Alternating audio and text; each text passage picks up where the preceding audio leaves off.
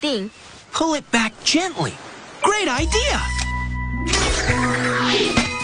Here we go. Pull the ball back around the rocks. Ah.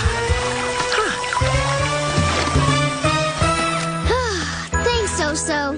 Thank you. I should try gently.